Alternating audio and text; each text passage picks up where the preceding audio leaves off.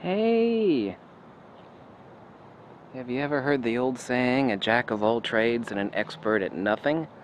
Yes. So what are we talking about? Um, let's talk about real-life analogs to certain photography optical equipment. Um, remember that Amphibicar that they only made a few hundred of? It was, uh, you're able to seal it up. It would uh, drive like a crappy car, a really crappy car, and uh, you uh, flip some switches and a little outboard motor would come out and then uh, you could just boat right into the water and it was a really crappy boat and a really crappy car. It's called an amphibicar. And uh, there's a couple other devices like that being made. They're insanely expensive. They're they're uh, they work in several different categories, but they don't work good or excellently in any category. There's actually a new variety of car slash airplane, and it's a crappy airplane and a crappy car. I think it costs like $180,000. You know, it'll turn into a crappy car, and it'll turn into a crappy airplane. Um, the nature of glass is irreducible. While we have better lenses now than we had 60 years ago, and we have better coatings, we have better corner-to-corner -corner sharpness and less chromatic aberration. What is unavoidable is the nature of glass. Um, someone recently, actually a couple people, especially the idiots over on Diaper and Pee Review, were uh, berating me for talking about uh, the electrical nature of glass. this video is not about the electrical nature of glass, by the way, because um, they didn't understand it, and nobody that's into photography knows about glass's properties. And uh, someone was actually saying, well, you know, glass is, uh, you know, especially modern glass is just not silicon you know, it's just not SiO2, it's not just glass. There are a lot of, there's ED glass, and there's, yeah, well, that's like saying coffee isn't water, but it's still 98% water. So the nature of coffee is irreducible. It's 98% water. Um, current glass is far above 98%, but it is still, it's still glass. The nature of glass is irreducible. It is uh, just shy of 100% glass and therefore the properties, mechanics, attributes of glass are irreducible. So glass today and its properties is the same as glass you know, 100 years ago in optical equipment. Things have gotten better in certain manifestations and we've got less chromatic aberration, blah, blah, blah, blah. It's still glass. Um, but that's not the point of this little video. The point is I get asked a lot of questions about super zooms and uh, ultra zooms. What's a super zoom? Well, super zoom basically is anything with a decent range like a 24 to 120 and an ultra zoom. There's no defined range. Like an ultra zoom is like an 18 to 200 or the 28 to 300.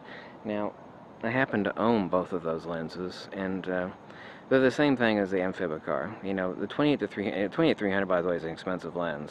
I mean, it's a thousand dollar lens, and it actually has a lock on it because once you uh, zoom that sucker out from 28 to 300, I mean, it goes like like that. Um, yeah, well, that's not the issue with the lens. The issue with those lenses is that they're good, kind of good, in about 80% of the range that they have but they're always soft and fuzzy on either end and they don't actually go to a true 300 they go to about like 270 280 depends on which lens it is but they're never excellent in any range. Someone says well I want one lens that'll do it all. Well there's a secret for you. There's no such thing. Those lenses don't exist. If you want a lens that's going to be excellent throughout that range you're going to have to split it up amongst primes and zooms because these lenses you know, they'll produce excellent images for Facebook, they're not going to produce excellent images in general. And uh, that's an inescapable fact. If you want to crop them and reduce uh, out the, uh, you know, the blurriness corner to corner, that's fine. Um, I mean, are they really good lenses? Yeah, it depends on what you define as really good. For a thousand dollars, I mean, 28 to 300, even though I have the lens and I think it's a really good lens, especially considering the range, the fact is, is that you shouldn't be seeking those lenses unless you already have a spectrum of lenses that cover that range already. It's like, well, I don't want to be buying three or four lenses. This is an issue everybody wants to talk about. 18 to 200. I want one lens that's going to do it all. Well, you could also buy one of those amphibic cars. You know, it's also a boat. It's also a car.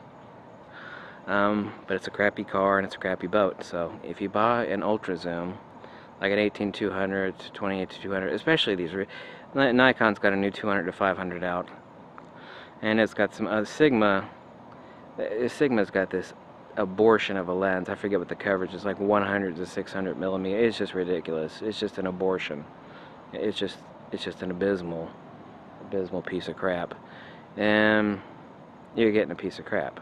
You're just getting a giant lens that is uh, halfway decent at that range from uh, near to far, but it's not any damn good at any particular focal. And uh, they're all heavy so the nature of optics is irreducible. We have ED glass now we have nano coating we have aspherical superior aspherical elements what we had although aspherical elements are still extremely expensive to produce. In glass anyway um, a couple of Nikon's lenses have plastic asphericals in them to reduce uh, cost production costs so as far as the ultra zooms go the answer is no no no. They, they, they, are not that great.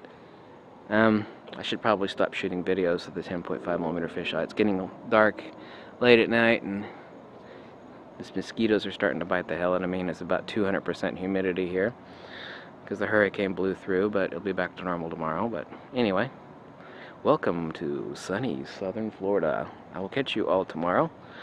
I'm gonna go in and uh, eat some uh, spaghetti and uh, respond to your comments and emails and thanks for watching. Catch you later. Bye